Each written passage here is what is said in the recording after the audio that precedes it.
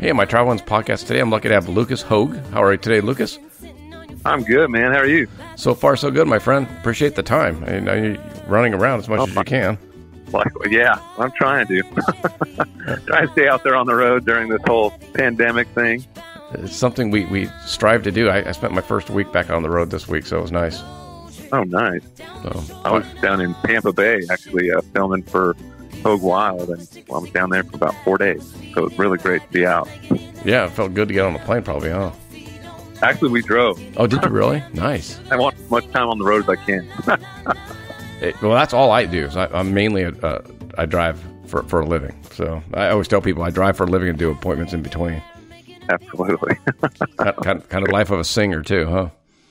oh, absolutely. You know. Yeah, for those of you who don't know, Lucas is a, a Billboard charting country singer. Uh, had a, a great album called Dirty South a cou- couple years back and has wonderful hits off of it. Thank you very much. Yeah, it was a fun project to put together. And uh, Definitely. I like Flip Flops and Bikini Tops Oh, personally. thanks, man. that, that, that's that's Yeah. my song. that was a fun one to do. It was a fun video to put together. We were in uh, Daytona Beach actually on that one, and and uh, when I I was actually in California doing a tour, and it started taking off on like Sirius XM and different radio platforms, and uh, label said, "Hey man, we need you to come to Daytona and shoot this music video real quick so we can get it to CMT and GAC." And I was like, "Well, can't can't you do it, in, you know, California?" Um, they're like, no, because you say the sun's coming up out of the blue waves. I'm like, man, can't you just like flip it? Because I'm like, I'm here. yeah. They're like, no, I gotta fly. So I flew to Daytona, and when I get there, the uh, uh, producer and, and director of the video didn't have any permits to shoot on the beach or the boardwalk or anything. Oh, So we basically do it all like guerrilla style. And we come to the moment where I'm lighting a bonfire on the beach at night, it's like the last scene. So we waited because we knew that we were probably going to get in trouble. And as soon as we lit the fire, up rolls the game warden on her four wheel. Yeah. Yeah.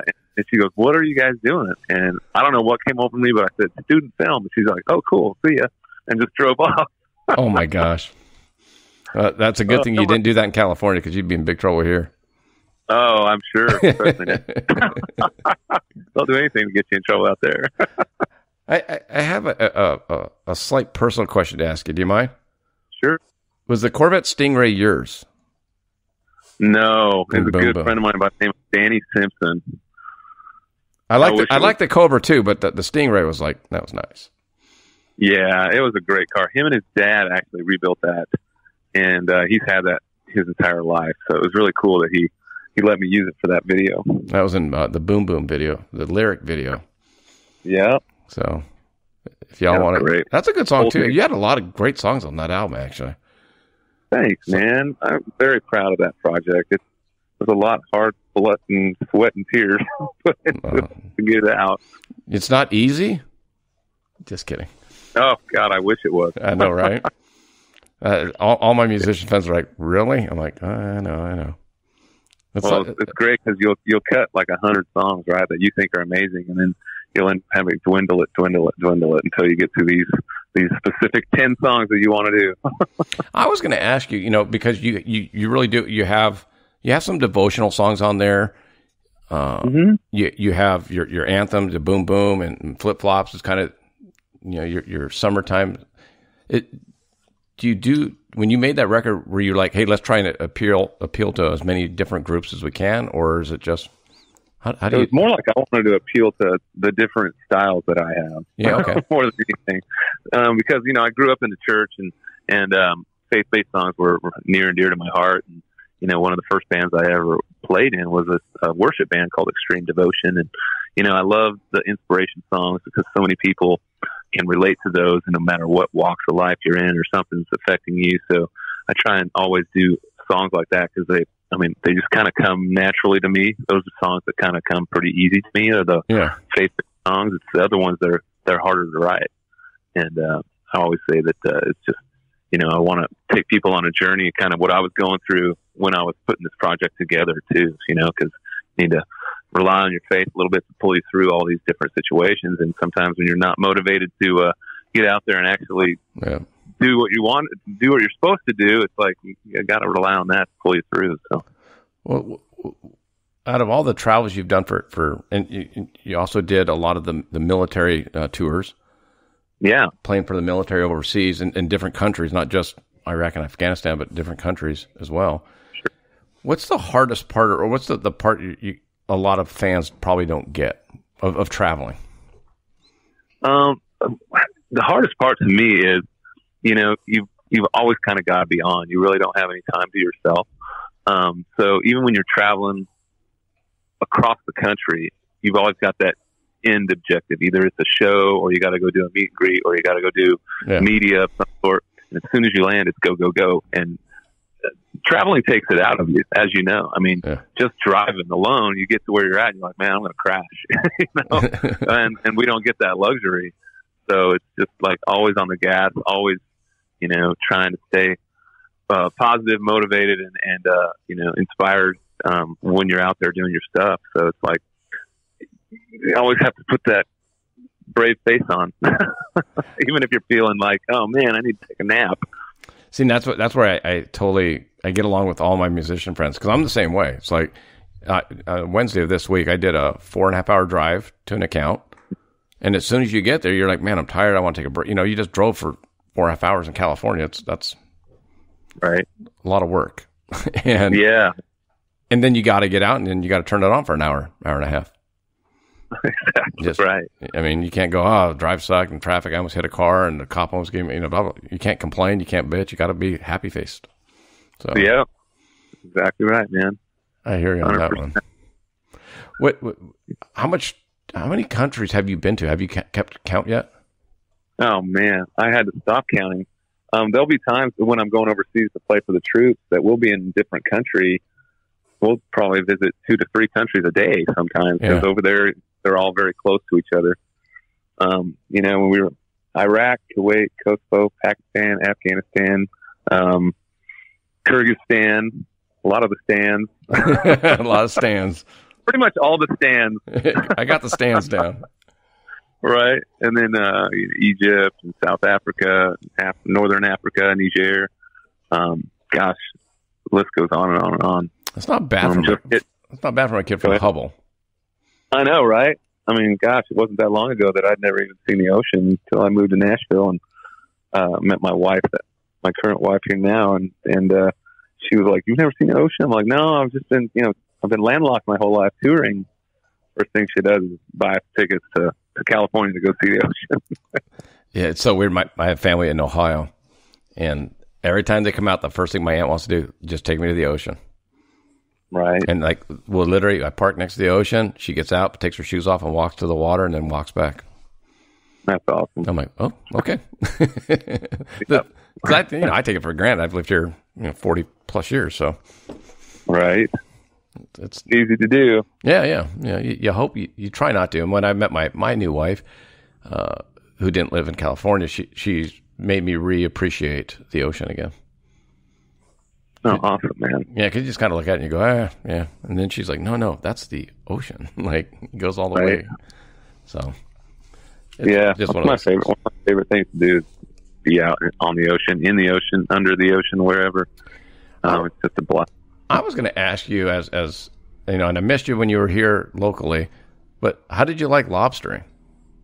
Oh God, I love it. Actually, this Monday is the Catalina Island episode. Oh, so oh, nice. That was my experience with uh, lobstering, and um, yeah, I just had a blast. I can't wait to go back and do it. I'm going back in October, and I'm actually diving this time for lobster um, instead of hooping. So I'm excited about it.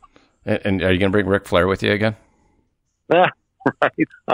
oh my gosh, that guy's awesome. Adam is a great guy. His wife Jewel is fantastic and Mike McKnight as well. They're just great, great people. We had a blast. Dude, that was so funny. When I was watching the teaser for that episode, I was like, he does look like Ric Flair. right? First time I saw him, I was like, man, if he was like a few inches taller and like thicker, he would be totally Ric Flair. so, so now see, we're, we're, teasing the, the, the new episode with Ric Flair on it. So right. We, oh, I actually did a podcast last week, and the lady who was interviewing me, she's like, how was it filming your first episode with Ric Flair? I was like, um, it really wasn't Ric Flair. It was a guy that looked a lot like him. See, we're going to start that rumor. Now Ric Flair's going to want to do your show. Yeah, or he's going to sue me. Either or. Either way, you get yeah. press.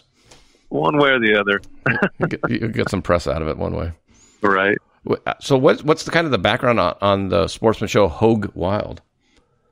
The Hoge Wild is a show that you know I've been trying to put out for for many years. You know, obviously touring around the country, I get to meet so many amazing people Yeah. that want to share their lifestyle as I want to share my lifestyle with them, and and we just hit it off and we keep in touch. And it's always been that outdoor theme that has always you know kept our um, it's kind of in that equality line for us. You know, it's like everybody can talk about the outdoors or have some some sort of love for the outdoors, and and uh, you know, I was like, man, I'm just going to start bringing a camera guy, you know, and start putting these shows together because I feel like my guitar's been my passport for these entire years everywhere I go. So it was really cool when it came about and when Sportsman's Channel got excited about it too.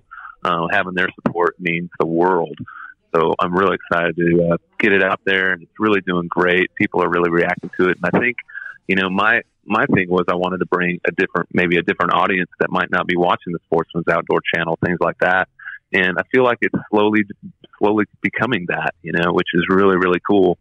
Um, bringing people that wouldn't necessarily watch a hunting, fishing, or lifestyle type of a show, and realizing why we do the things we do, and and hopefully helping change the narrative of hunting and open some of the people's eyes that look down on it in some way, and and hopefully they'll uh, look at it in a different light now.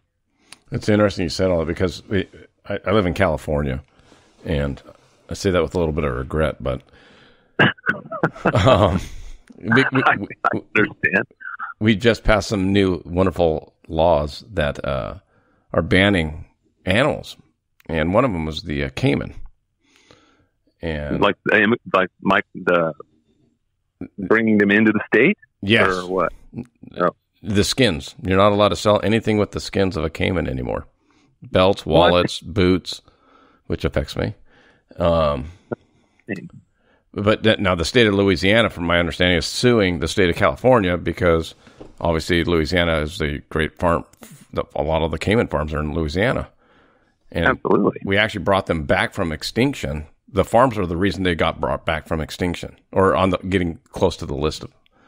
So the farms are the farmers are like, hold on, we saved this species, Yep. and now you're you're banning it. So you, it, it was one of those ridiculous moments of Calif- being in California. We're also banning um, te- tegu lizard. So Why? um, because we you got to be nice to animals.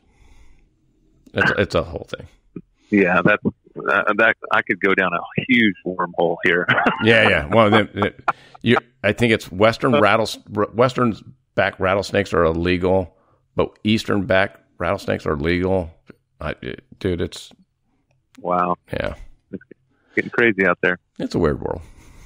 So, but uh, and so I agree. I mean, I think your show could be that that kind of bridge, you know, to kind of show people that the the plus sides of it and the lifestyle of it. I sure hope so. You know, that's that's the intent. Um, I want to entertain and and you know show people a different side of things and let them know that hey, there's a reason that we do these things. You know, there's a reason that we have to harvest elk and deer Yeah. and pheasants and quail and all these things so that we can enjoy them for years and years to come. And people look at me crosswise when I when I tell them that. I'm like, yeah, the hunter is the actual conservationist.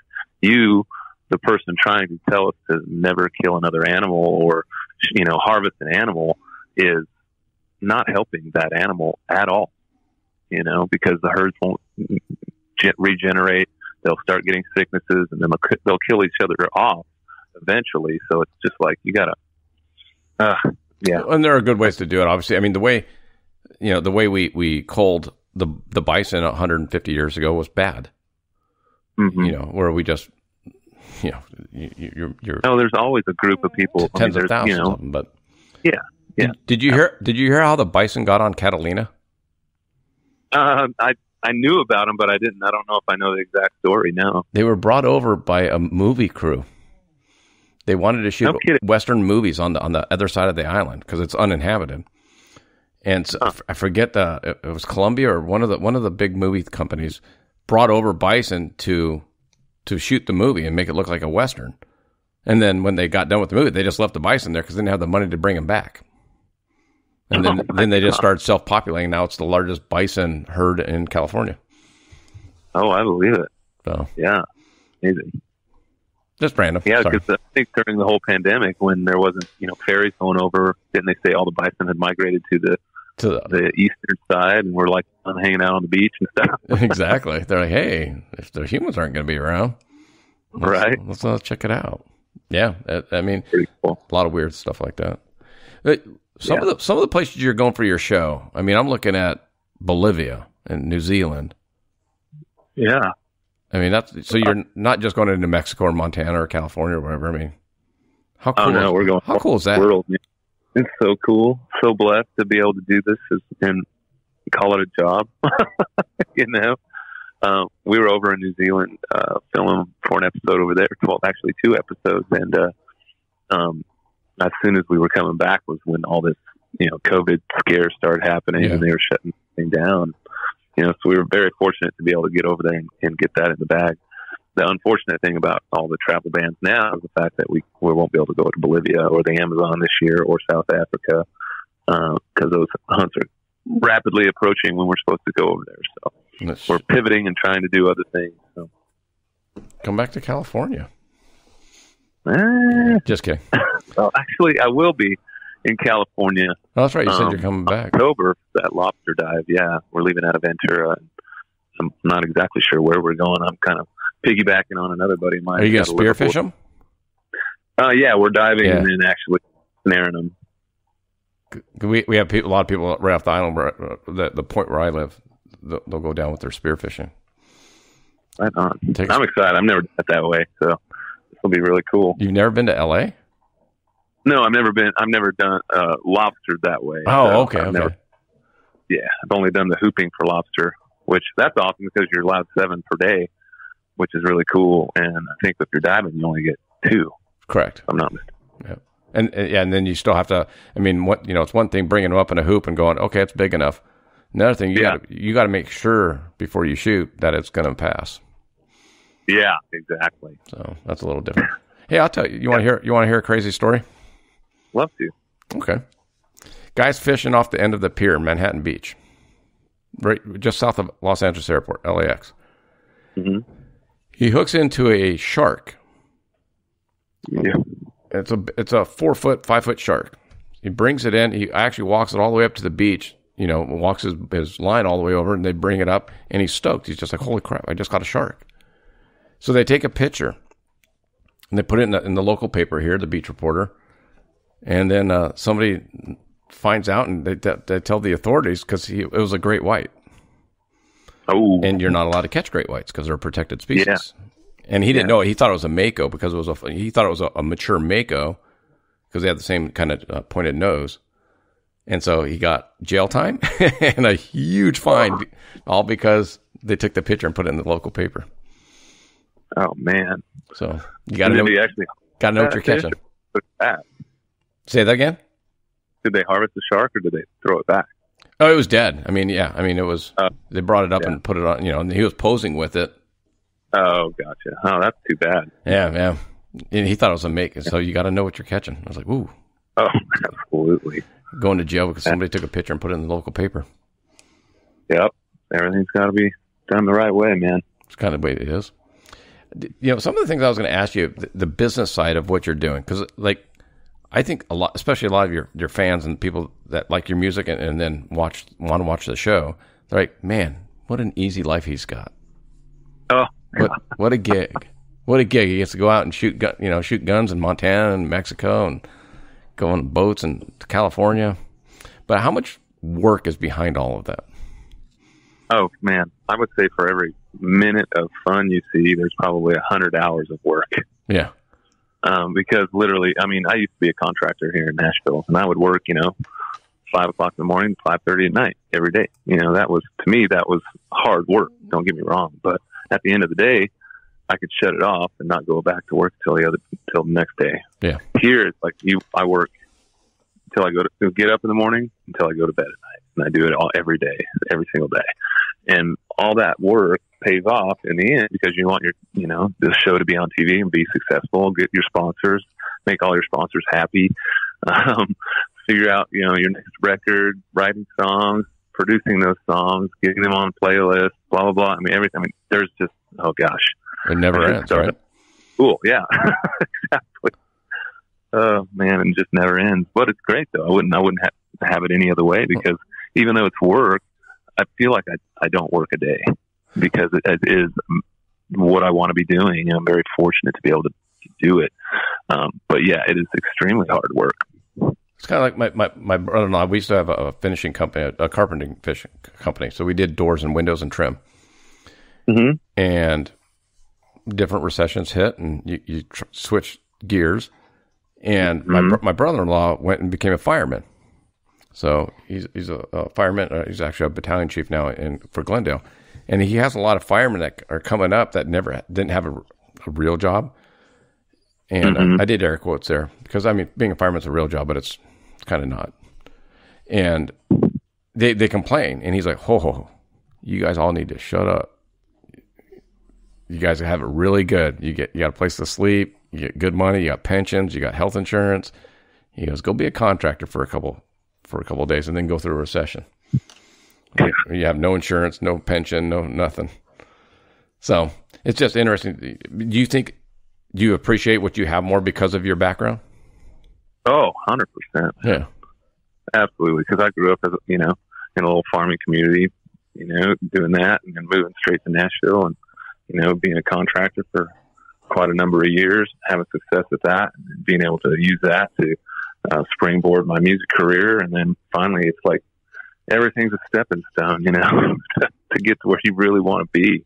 And you just have to appreciate uh, all that you had to go through to get to where you are, you know, because it makes makes that dream even sweeter.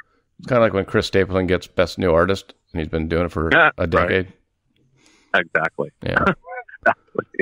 The one, the one thing I noticed, and another reason I was really excited to talk to you was you seem to use um, or get ascertained sponsorships for mm-hmm. a lot, for a lot of your stuff. Cabela's, Wrangler, you know, GoPro. I mean, like big companies, and I think a lot of ours don't do that.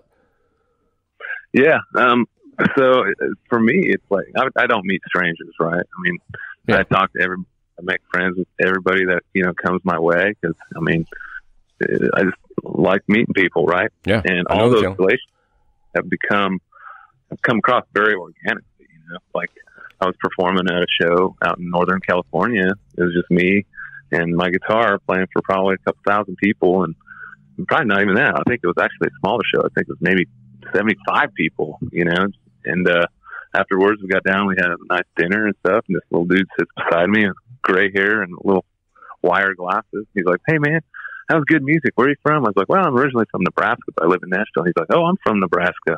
Yeah. I said, "Where at?" He said, "Sidney." I was like, "Oh, the home of Cabela's." He's like, "Yeah, I run it." I was like, "You don't say." you know, we kept in touch over the years, and and uh, and finally one year he was like, "Man, why don't you send me a proposal? Maybe we can. There's something we can do together." And that's when the sponsorship came about. You know, it was just those things, and then sponsors bring other sponsors, and sure. they're wondering, "Hey, why are you working with them?" And blah blah blah. Why don't you work with us too? I was like, "Okay, cool." you know, those kinds of things. That's kind of how I met Jeff Chadwick at Wrangler. I was with them for a number of well, the Wrangler National Patriot Program. Yeah, and uh, you know, he and I are great, great friends. Just a salt of the earth guy, you know. And um, yeah, just another thing. There's just kind of just friendships that come about, and they just happen to be right place, right time, you know. Do you think that's what it is, or do you think a little bit is? I mean, there's athletes that are the same way, right? I mean, some athletes don't like doing press and meeting people and talking to people, and others are like you and me, or just talk to whoever. Yeah, so. it has a lot to do with that too. You know, being personable and being tangible to to people that want to talk to you directly. Where a lot of the, the artists um, and you know sports uh, figures whatever don't want to have that one on one interaction with that sponsor. But I feel like it strengthens that bond with that sponsor. You know, to help you um, easily access them and, and vice versa, where they can make things happen faster. Yeah, no, I totally agree. Totally agree.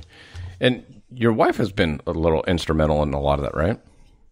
Oh, absolutely. She's extremely smart and very good at what she does. And she actually has her own company called Artistry Alliances, and, and they actually help other artists not just myself. Yeah. Um, other artists as well, a lot bigger artists than me, um, with sponsors and helps actually sponsors and corporations with big events. She's working with NASCAR and Zaxby's Chicken, and I mean, you name it, they've got a roster. She's a hundred, hundred CEOs deep. Well, that's that's got to be a huge help. Wait, oh, absolutely. does she travel with you, or does she stay in Nashville and stay home, or is it a mix? She travels with me when when I'm out there doing a lot of stuff. She doesn't come on some of the filming uh, for the show, but if we're out there um, touring and doing doing music and concerts and things like that, she'll she'll try to come with me as much as possible because she can do everything from you know her laptop and a phone. Yeah, yeah. Well, that's I was going to say. You know, whenever I have to go to my Hawaii accounts, my wife's all of a sudden very available. right, exactly. But uh, Funny, I- Rap, Rapid City, South Dakota, or Gillette, Wyoming, she's busy. yeah. Uh-huh. You know. I'm like, all right. I'm like, I didn't tell you when I was going to Hawaii. She was, but I'm available. Like, oh, okay. So, Yeah. Uh, how, how much of a blessing is it to be able to travel with her? I mean, that's that's huge right now, right? Oh, it really is. You know, having her next to you, beside you, it's like bringing home with you. So no matter where you're at, you can be there and not feel like you're away from home. And we don't have kids or anything too, so it's really easy for us, you know, to hang out in places for uh, an extended amount of time. Yeah, that's nice. Do, do you have uh, you have cats though, right? We've got cats and dogs, yeah. Yeah, yeah. So how, how, how do you deal with them? Well, a friend of uh, ours in the neighborhood just stays here at the house and takes care of everything when we're gone. That's because we I have a my my daughters are older now. They're 25 and 26, so Nice. living on their own. So now it's nice. I get to travel. My wife's like, "Hey, let's go." It's like, okay. That's great. It's kind of weird. It's like, whoa, All right. No soccer games, no no promotions, no birthday parties. It's kind of cool. Very cool. What's the what's your favorite place to have visited so far? Gosh, I would have to say the Cayman Islands. Um, I was down there doing a wreck dive uh, over the Kittiwake and a bunch of other small little uh, um, man-made reefs, uh, ship sinkings, and and uh, man, the waters are crystal clear, super warm, and I man, I love scuba diving. It's one of my favorite things to do. So being able to go down there and see just the vast amazingness that, that is the ocean, you know, and and uh, explore all these places and see things that oh, you know a lot of people don't get to see is really really cool. Have you been freaked out yet? I'm not. That's not to say that it won't happen, but I'm trying to avoid that. Um, I haven't done a night dive yet, so I'm, I'm guessing that's probably going to be where that freak out moment might happen. But um, there's a quarry up here where I do some open water um, dive, and I get my uh, uh, higher level training and stuff like that in there. So uh, we're doing a night dive coming up in August um, for you know training for a master diver and stuff like that. Nice. Hey, Yeah. I, I, I did. Uh, I was snorkeling in La Jolla one time in San Diego, and, and a barracuda came by me. Oh. And I'm like, that looks a lot bigger in person. Like, Right? and I've caught I've caught barracuda, so it's like, all right. But when it's like, I felt like I was the uh, the bait. You know what I mean? it's like because you know when you're on the ship and you catch and you bring it up, you're like, ah. When I was down there, I was Yeah. like, whoa. yeah, we're in their house now. Yeah, exactly. so I don't even Yeah. want to think about the the shark adventure. I don't think I would. yeah. I know. That's the thing that would probably freak me out a little bit. You know, it's uh, encountering a, a big shark of some kind. Um, we were down in the Caymans and we got to, you know, there's this place called Stingray City where it's about, it's only about 13, 15 feet down. And we just, you know, take all of our weights and, and go down and sink and just lay up, ba- basically kneel on the bottom of the ocean floor and start chumming the waters for these stingray. And these stingrays come in and they play with you and they're all over you and it's just really cool, you know. So that that wasn't, you know, a freak out moment at all. But that was really cool to see all these rays. See, and uh, you tell stories like that, and that's what people are going to be like. Ah, see, he's not even working hard; he's just going out and playing. right. They don't know how hard it was to get down there and how to figure out how to make that trip happen without spending a ton of money. well, and then you know, I I live in L.A., so like I see the the movie productions and all that, How many people Mhm. are on your crew? Well, you know, we're I'm pretty mean and lean at Yeah, this yeah. point.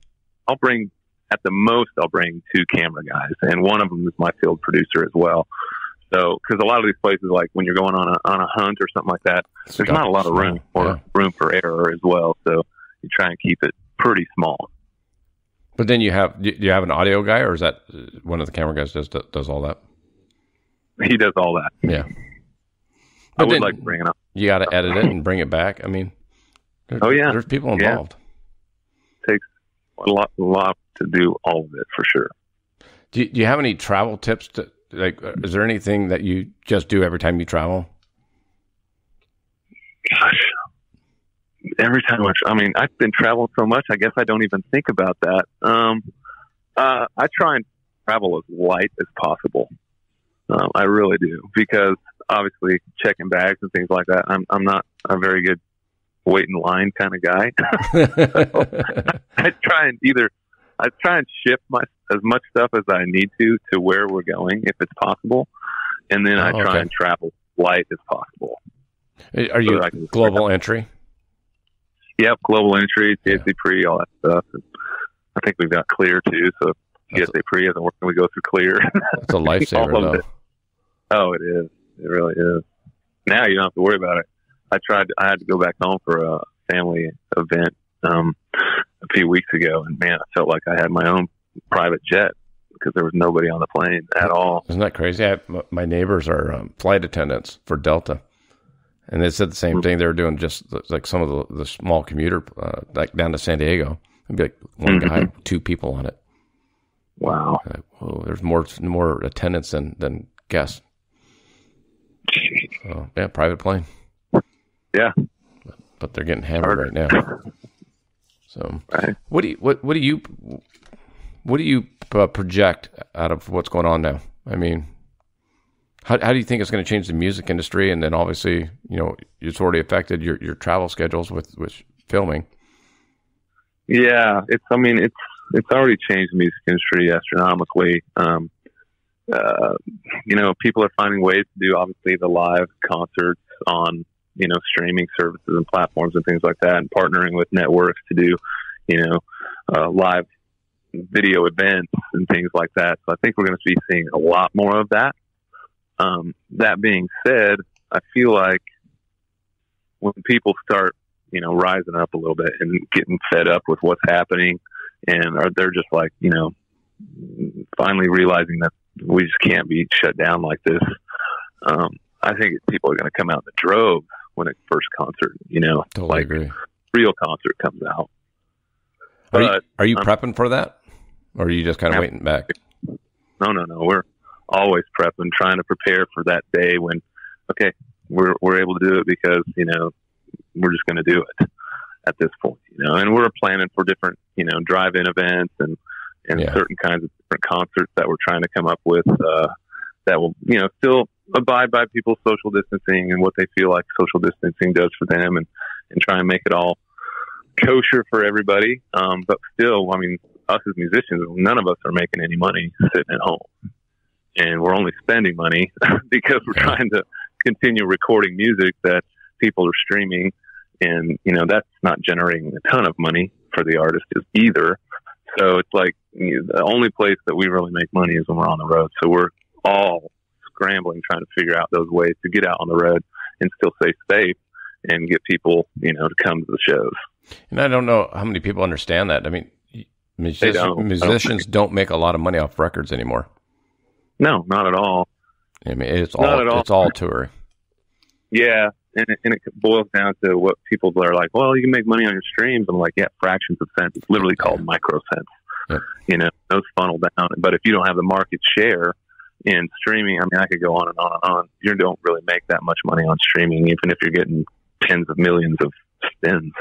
Well, I, I think uh, because I talked to Cowboy Troy, and you know, and he toured out with Big and Rich, but it's still it's like he's selling merch, and you know, I, what is it like a, a stream? You have to get ten streams to count as one sale or something like that. Oh no, it's a hundred streams. It's a hundred. Okay, one. yeah. It might be a thousand now. I mean, it's it's getting out of hand. So, so I think it was a thousand streams count as one album sale. pretty sure. Well, and then you you've got the musicians, and you and then you know like everyone's like, oh, so poor Big and Rich or poor you know Garth Brooks, he's not going to make his millions. It's like no, it's it's man the the crew that work on Yeah. those. That's all they do.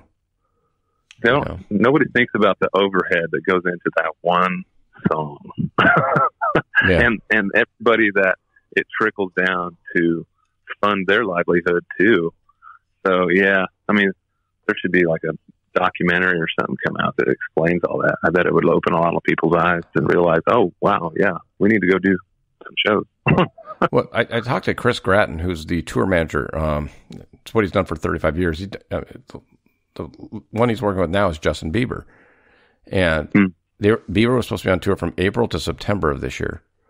And th- I talked to him a week after he had just laid off 87 people. yeah, tragic, man. You know, and he's just like, I don't even know if we're going to start up. So you know, Bieber 2020 is now Bieber 2021. Yeah, that's what everybody. I mean, we're all in the same boat. Yeah. Yeah, So got got, got to figure that one out. So yeah, it's rough, and we're all self definitely self employed too. So I mean, that's we're like the, the low man on the totem pole when it comes to anything. so it's like, that Well, part I know real well too. I'm an independent contractor, so.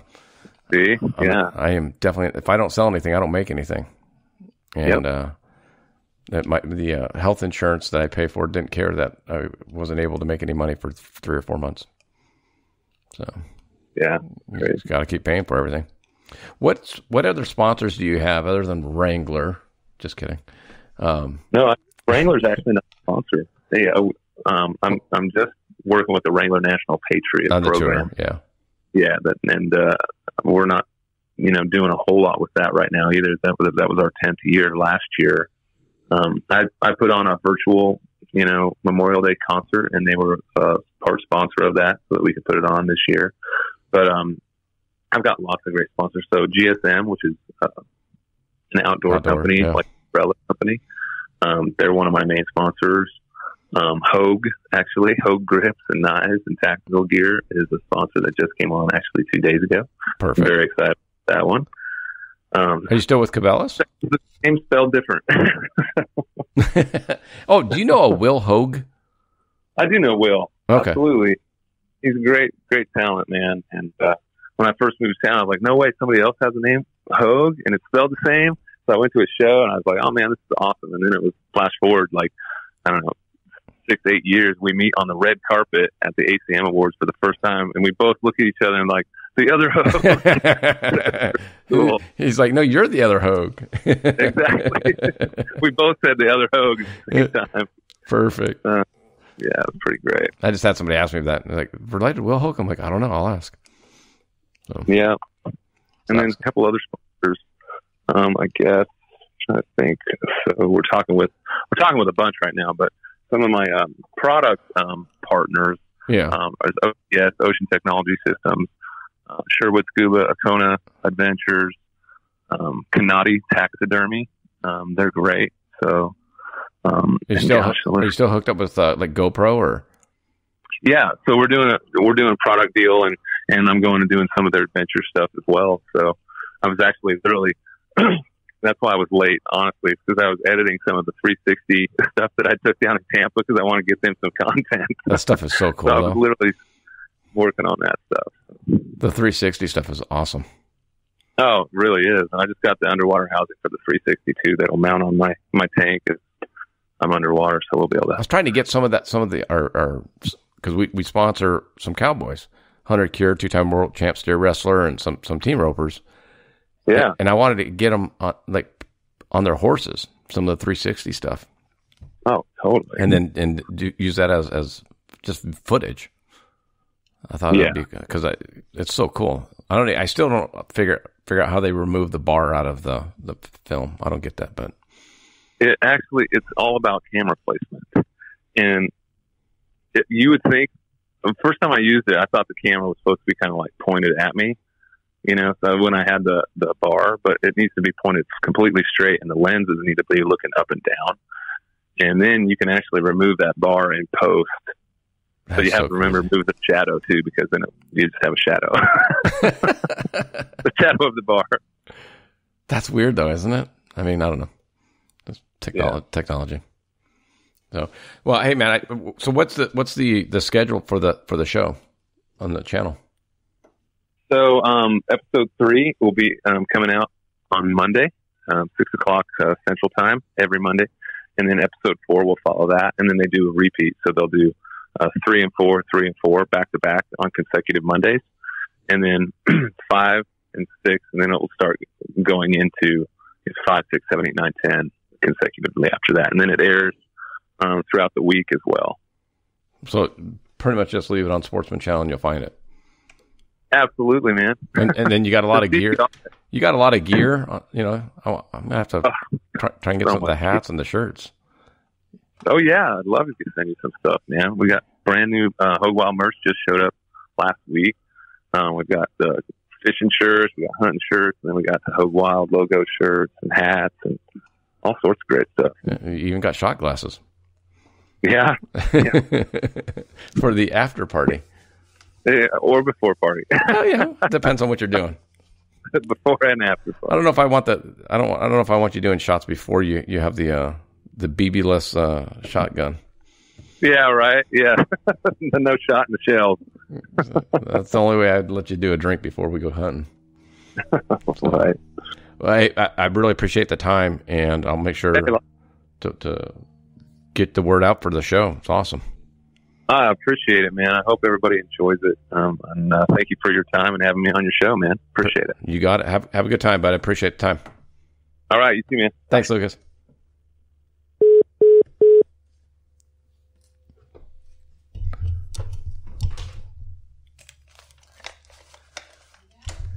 Yes, ma'am.